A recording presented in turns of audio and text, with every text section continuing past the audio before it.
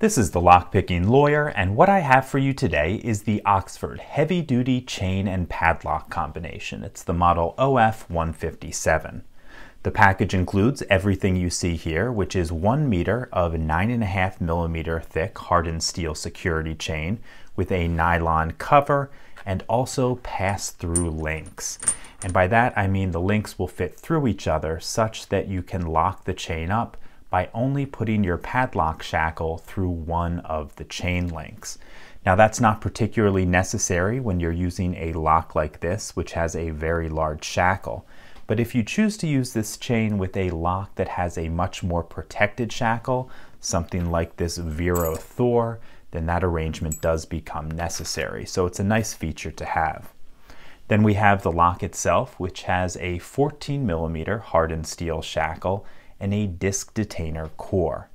This lock can also double as a disc brake lock, which makes it pretty nice. There's a few other interesting features about this. One is that we have a rotating dust cover to keep grime out of your core. And there's also something in the construction of this lock that I don't see on even much more expensive locks. And that is the fact that inside of all this, I don't think you can see it now, but let me get a light.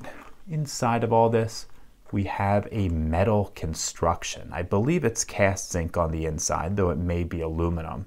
However, on even some more expensive locks, and I mean much more expensive locks, what you'll see is plastic on the inside of the hardened steel tube.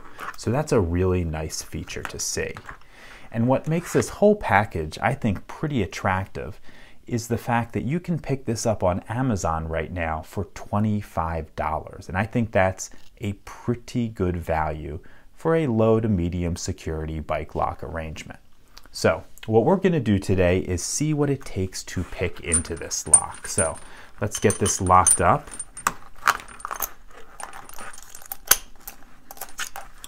And I'm going to be using a disc detainer pick that I don't think you've seen before. And before I show you the pick, I'm going to show you why I made it. Now you've seen in some past videos, particularly with the kryptonite locks, I had to partially disassemble the locks because most of my disc detainer picks have a very short space right here. This one's only about nine millimeters thick, so I can't reach very deeply into the lock to pick it. Um, this nine millimeter reach frankly just isn't enough for most locks.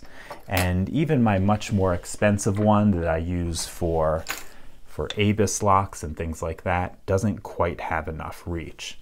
So what I did was I took an old Chinese abloy pick I had that frankly couldn't be used to pick any abloys. I cut the whole tip off of it and made a, a pick tip and filed it into shape, added some bushings in here, put some tensioning handles, which are actually pieces that I took off of my wife's ring rack, and the whole thing works pretty nicely. It's uh, The bushings are very, very smooth.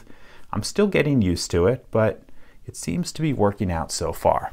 So let's see how this new tool works. Now the first thing we have to do when picking a lock like this is to rotate all of the discs as far clockwise as they will go. And then I'm going to counter rotate just the top disc a little bit to make sure I don't insert the pick too far.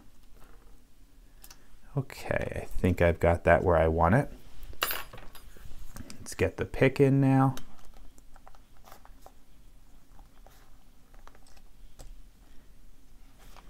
Okay, we're tensioning off of the first disc, so let me start by looking for the second. Okay, we have the second disc now. Got to click out of the second. Onto the third. Click on the third.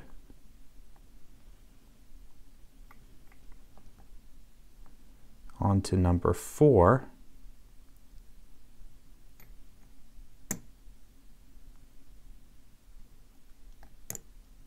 Okay. I think we have four set. Moving on to five.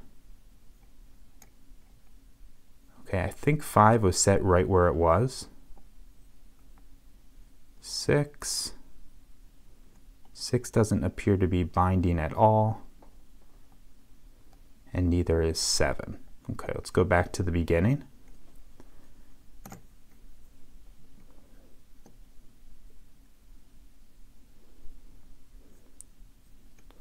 Okay, looking for number 2 again. And 2 is binding. Okay, I think I've got 2 set. On to 3.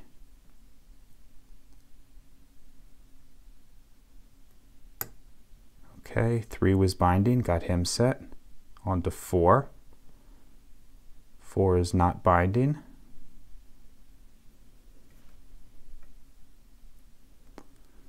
Five, five seems set. Six, and it looks like we got it open.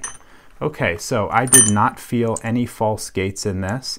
It seemed to just be a normal, or at least what we would expect from any Chinese-made disc detainer lock, which is what this is. So it is I will call it pick resistant if for no other reason than the tools and skills required to open these disc detainer locks don't tend to be very common. But as far as disc detainer locks go, it's not a particularly hard one to open. So that's all I have for you on this Oxford heavy duty chain and padlock combination model OF157. If you do have any questions or comments about this, please put them below. If you like this video and would like to see more like it, please subscribe and as always, have a nice day. Thank you.